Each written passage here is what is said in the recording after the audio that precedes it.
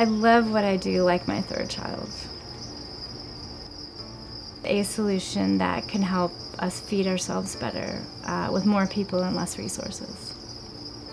My background in international development led me to be very passionate about access to food and access to nutrition, which are really different things.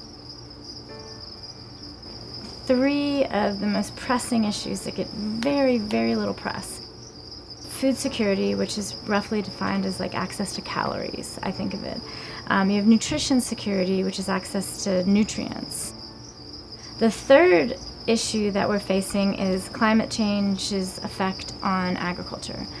Insect farming can potentially address all three of these issues. Insect farming is a very efficient way to raise food. One of the most dramatic comparisons we have is between beef, raising cattle, and raising crickets. You need about 10 pounds of feed to raise one pound of beef, whereas crickets are more along the lines of two to one. This is barley from the distillery, and then this is smushed up apples from the cidery. And that's what we feed the crickets. Westerners have a long standing bias against insects, whereas most of the rest of the world eats insects regularly, not as an emergency food, but really as a delicacy, a seasonal delicacy.